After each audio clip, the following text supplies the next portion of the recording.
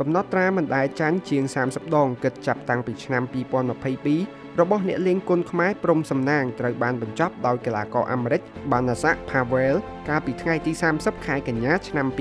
2023ព្រំសំណាងបានលើកឡើងថាខ្លួនបានចាញ់កីឡាករអាមេរិកទាំងមិនអស់ចិត្តពីព្រោះมันមានកន្លែងវឹកហាត់ត្រឹមត្រូវចាប់តាំងពីបានឈ្នះមេដាយមាសក្នុងកីឡា SEA Games មកទើបតែពេលនេះមេបានរៀបចំកន្លែងថ្មីរួចរាល់ សូមគុំថាមិនបានវឹកហាត់និងសូមទោសដែលធ្វើឲ្យបងប្អូនកម្ពុជាខកបំណងស្នើសុំស្ថានីយទូរទស្សន៍រៀបចំការប្រកួតដើម្បីសងសឹកឡើងវិញ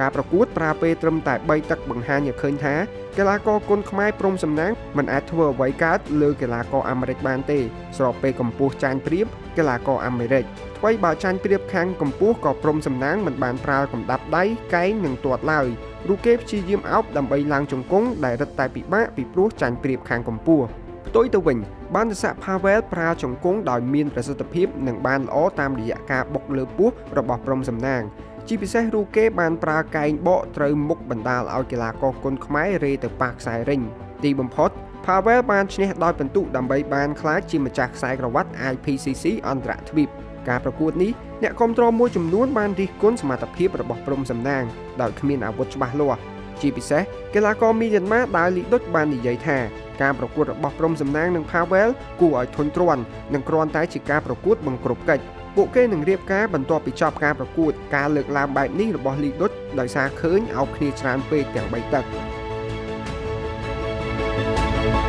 ។